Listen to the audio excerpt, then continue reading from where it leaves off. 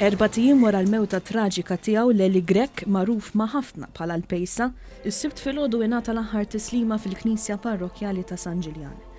Iċ-ċelebrant ewlieni tal-funeral, Dun Ġwann Galea, li kien ukoll qrib ħafna tal-familja Grech, faħħar bis-sħiħ il-ħidma tal-Għeli f'din id-dinja, fejn qal li Alla żejjen lil ħajtu b'ħafna doni, fosthom l-għaqda li kien iżomm fil-familja.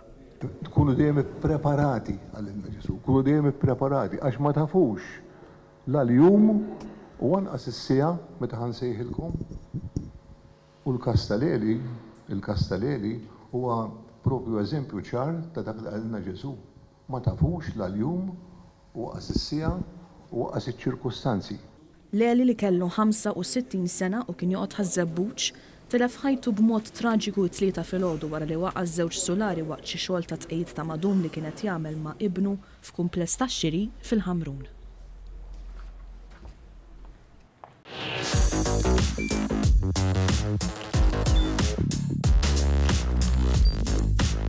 Idħol fuq one.com.mt u hemmhekk tista' tara l-programmi kollha li jxandru fuq One permezz ta' One Play.